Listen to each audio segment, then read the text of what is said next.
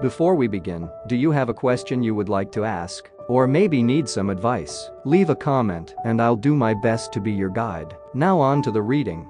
Good morning sweet Libra, the alignment of the Sagittarius moon with Mars and Chiron this morning brings a burst of optimistic clarity to your mind, creating a perfect environment for healing and embracing love. Allow this positive energy to uplift your spirits and guide your actions throughout the day. Later today, as the new moon rises, you'll find yourself with a lot to share. However, it's essential to balance your outward expressions with some introspective moments. This lunation offers inspiration and new ideas, and giving yourself space to reflect will allow you to unpack and understand the thoughts swirling within your mind. Collaborations are particularly favored under this astrological event. If you've been considering working with a friend on a passion project, now is an excellent time to outline a solid plan and set intentions for the future. Keep in mind that Mercury stations retrograde later tonight, which may bring a sense of disorder within the home. Take some time to create a harmonious and organized space, ensuring that you navigate any challenges with grace.